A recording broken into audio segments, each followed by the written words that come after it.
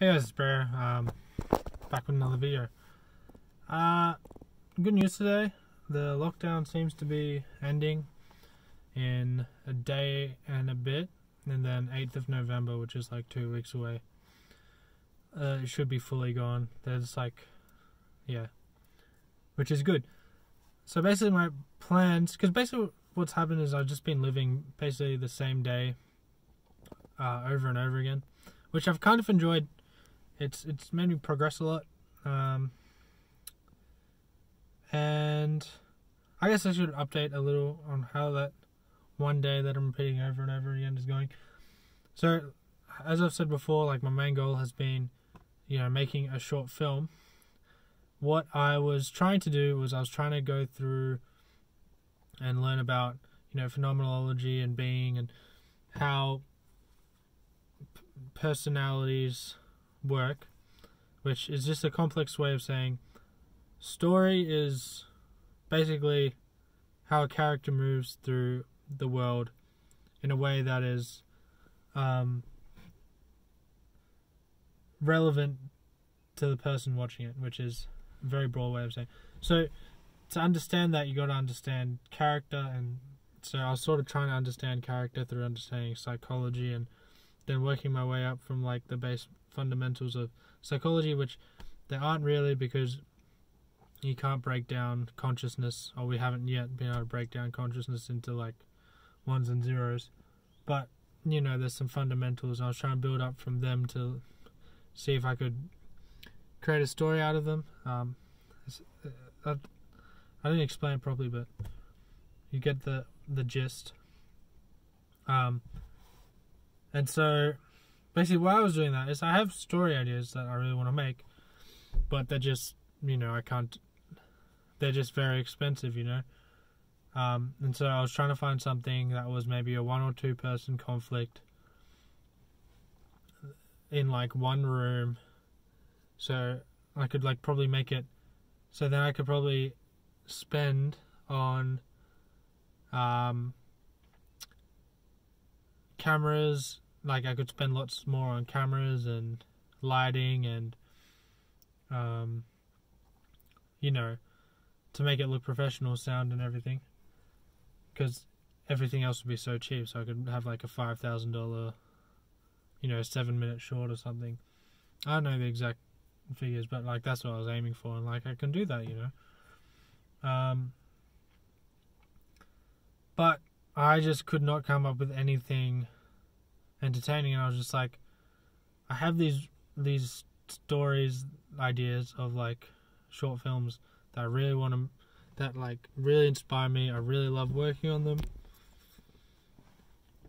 but they're really expensive, and I can't. And so I was just like, uh, but I I couldn't figure out a story with such limitations. So I'm just like, stuff it. I'm gonna work on the, you know, expensive story and just see where I get. Um, my main problem in the past with it was because of the expensive story. I was just like, I gotta do everything myself. I gotta learn how to create a costume for it. I gotta learn how to do the lighting. Gotta learn how to do all these different elements. And it's sort of like saying, "Oh, I'm gonna be a professional basketball, soccer, hockey." football, um, and I'm also going to be a great mathematician, and I'm also going to be, you know, I'm also going to work in IT and learn coding. It's like if you spread yourself out of onto so many disciplines, then you just get nowhere with any of them, and that's what was happening. And I was like, so that's when I transitioned into thinking, okay, I'll, I'll pay other people to do all that stuff, which is what people do mostly. You only have one or two specialties in filmmaking, like writer director or actor. You can be three like actor, director, writer. But I'm not. I'm not an actor. Or you know, become a cinematographer, become a production designer. Yeah, sound do sound. Um, I don't know anything about sound. Um, but yeah, I realized. Okay, I I understand how this what this vision is. I can. Well, I guess we'll see. I can communicate that to other people. I look burnt. I'm burnt. No, no, doesn't really matter.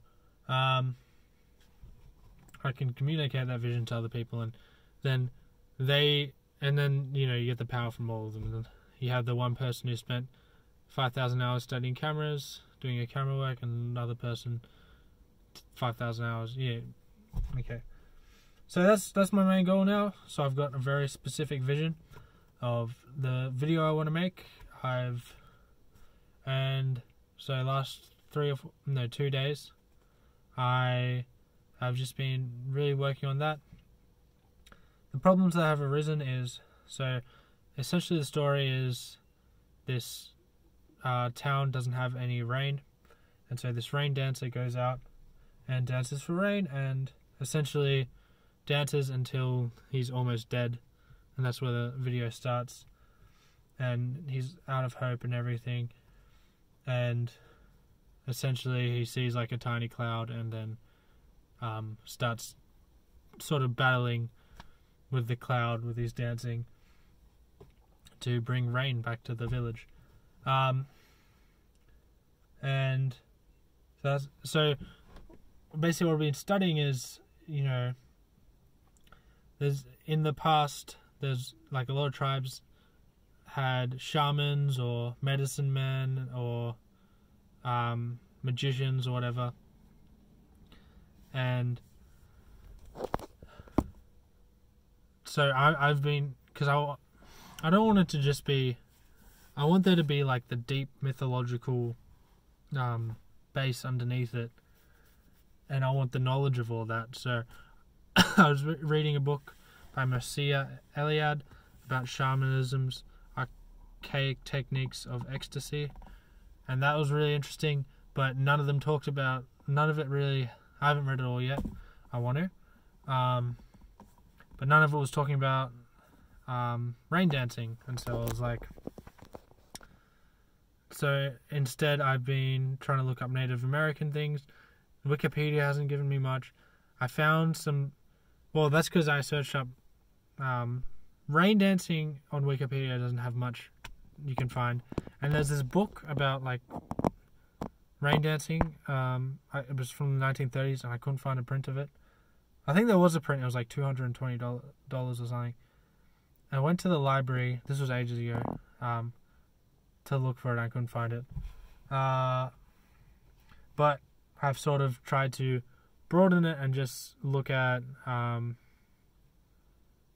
Native American, you know, history and culture, and that is just like, so what I didn't explain with the shamanism is like, you, look at shamanism, it's like, you know, he he lists off fifty different cultures you have no idea about, and like, oh, this culture did this, and this culture did this, and like, from like he, it's most popular in Central and Northern Asia, or Siberia, it's North Asia and like I know nothing about these cultures, and there's like so many of them, so I don't know which one to research or where to start. And then the same thing with the Na- Native Americans. You like you look up Native American tribes, and there's like a hundred different tribes, and all with their different histories and stuff.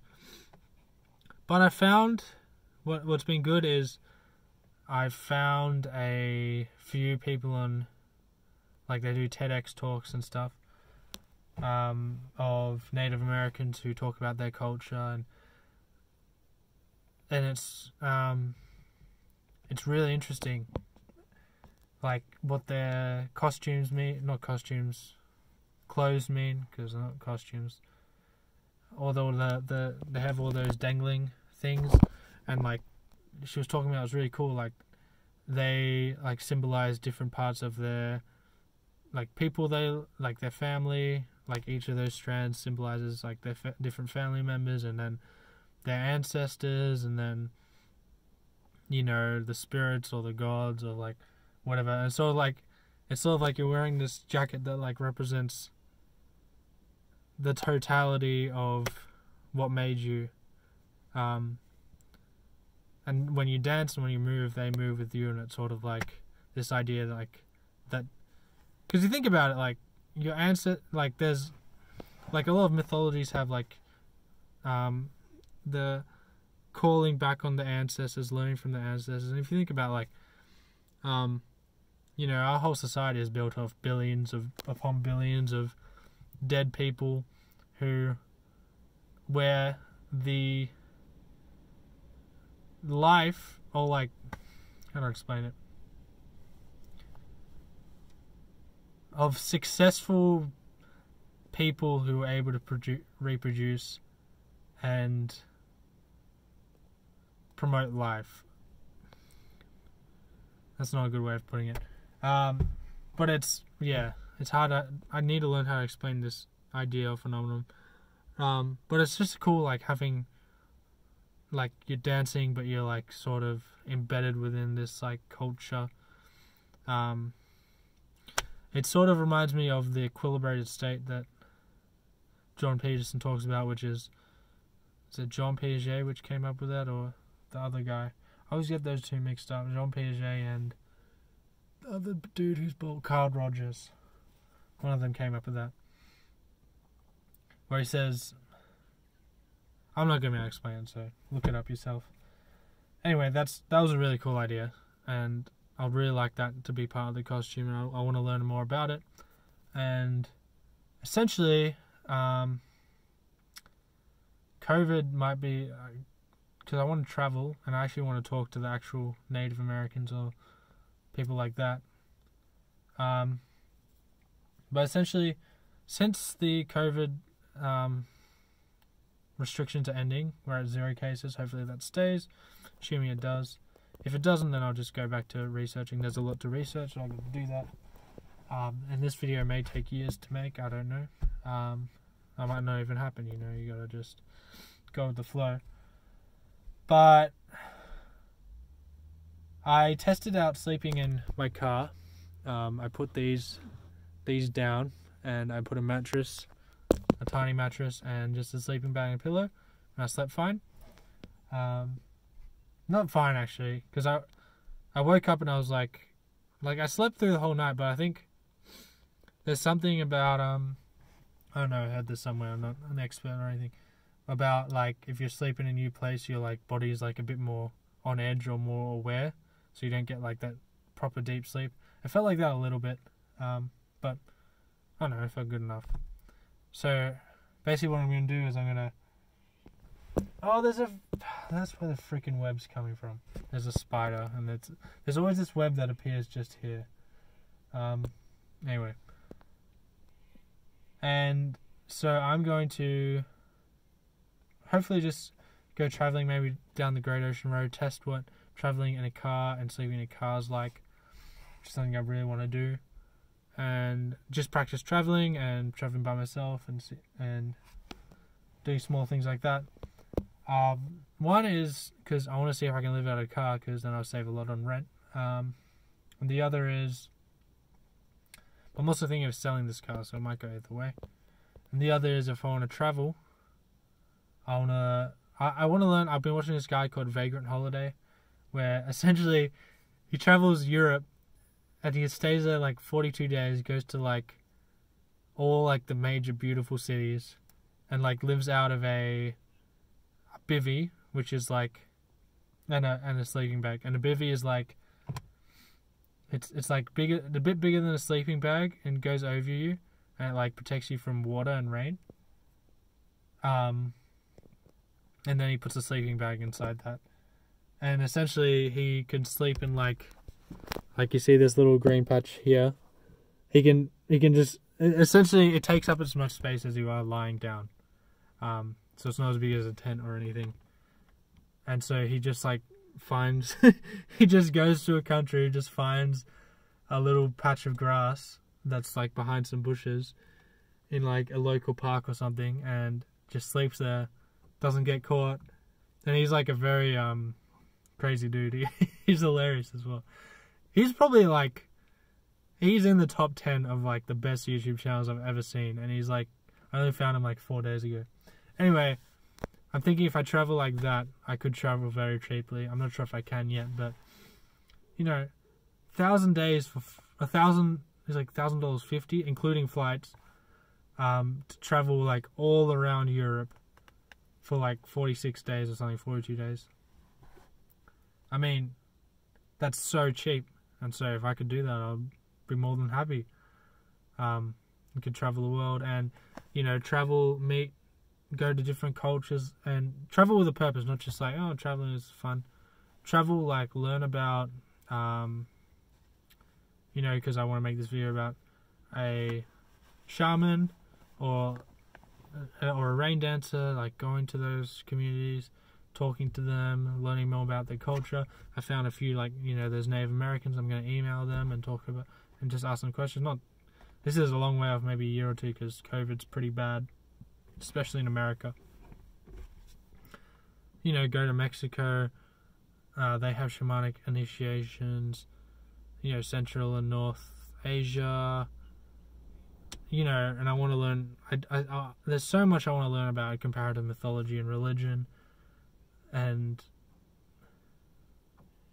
yeah, I just want to do this to break up the monotony of the same day every day. I want to like, I want to travel um, a lot, um, and so I'll see how that goes.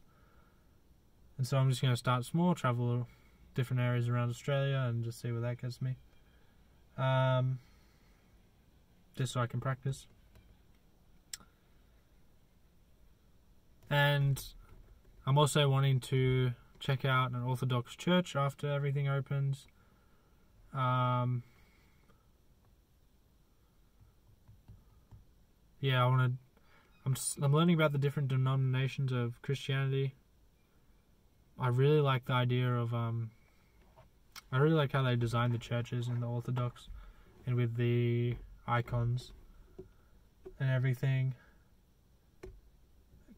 And I've been listening to Jonathan Pageau, who talks about he's Orthodox Christian and he does icon carving, and it's like really cool how he talks about symbolism and mythology and religion. So there's that I want to do, which would be really fun. And yeah, there's a yeah, there's tons I want to do, and I'll be able to start on some of them and I gotta be patient, you know. But that's basically the main thing. Main goal is making this music video, so there's a lot of research that's gonna go into that, and I'm just gonna I'm gonna plan every little detail out to like the finest degree of what I can, and then I might hire people, like my hire a historian to help me out. I might hire a scriptwriter to just make the script clean. I might hire a, you know, I might talk to the people that make I'll try and find people that make the costumes and see what a costume is. Maybe I'll learn about the tribes and how the tribes operate, so I can get better production design. Because I'm thinking like, you know, you could have like, and like learn all the symbolism of the costumes, and maybe there'll be like a sort of mandala, circular pattern, like where the guy dances in, and that could be incorporated in somehow. It's just like there's a ton I can do with it, and it's really exciting to just have something I can sink my teeth into and so that's what I do, and that's that's my life at the moment. Um, yeah, the reason I made this video is because I just I was looking through some old pictures. Um, I was I was looking at my dog because he died uh, a few months ago, and but I just like got caught up like looking at all the, all these old pictures, and yeah, I was like, damn, like you don't realize how much you change until you like look at all, and so I'm thinking, you know, I might want to make some more videos. So I look back on this video and like I haven't watched any of these videos. I watched one, I think. Um,